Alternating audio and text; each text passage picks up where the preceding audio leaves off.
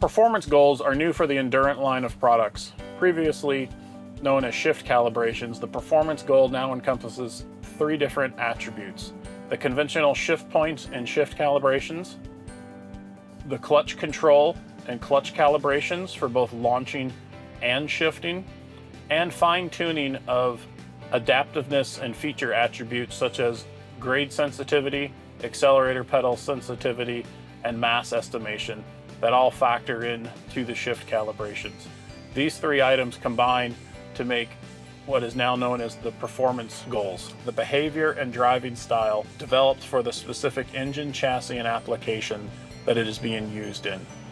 The performance goals may include things like economy calibrations, performance calibrations, and specialty calibrations such as tanker and off-highway.